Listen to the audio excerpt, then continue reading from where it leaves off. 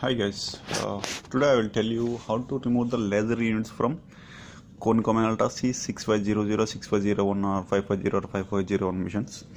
And this is the mission and this is the bypass tray right?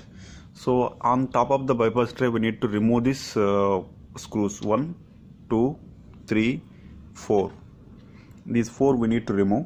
Once you remove the four it will come out. This total cover will come out. Just you can remove this out once you remove this one now uh, you can get this one.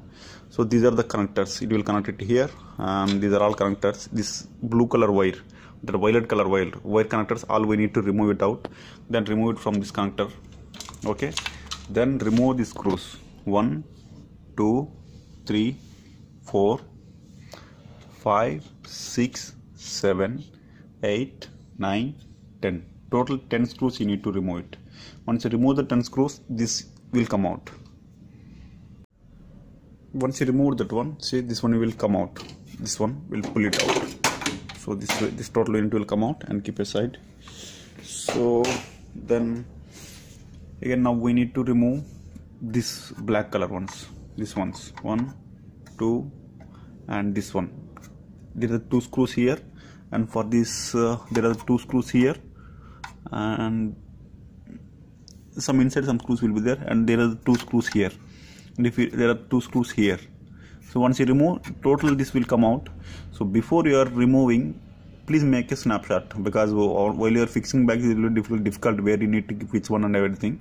So make a snap and then after you can easily print out. Else you can follow the video and you can see here easily. And while you are keeping this one also make a video and where we remove the screws. And then remove one and two these two screws. Then this one little bit push it down. See this one is there right? This one this one is inside. So little bit need to push it down and remove it out. So once you remove it out then inside the laser unit will be there. I will show you.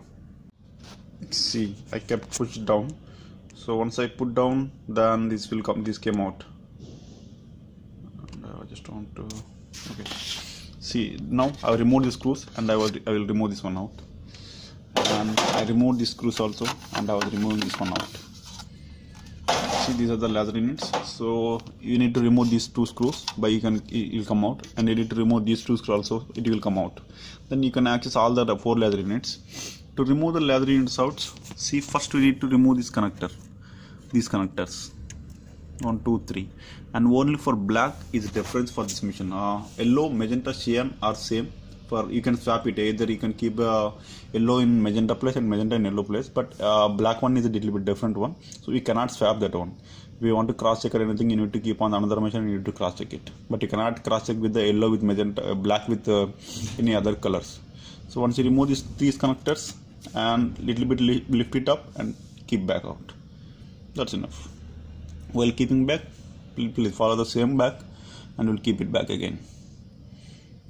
Okay thank you. While you are removing see there are three connectors here for black and one connector here for black. Coming to cyan there are two connectors here this side and one connector this side. All the colors there are two connectors and one connector right side. But for uh, uh, black there are three connectors and one connector. That you need to don't forget to remove. Once you remove it out then carefully take it back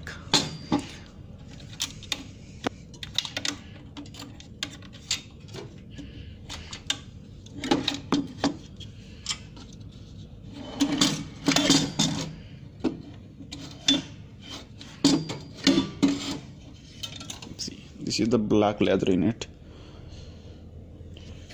So I need to clean it and I need to keep it back. And same like this this one is the cyan and this one is magenta and this one is for yellow. These three you can swap and either wear but you cannot swap this black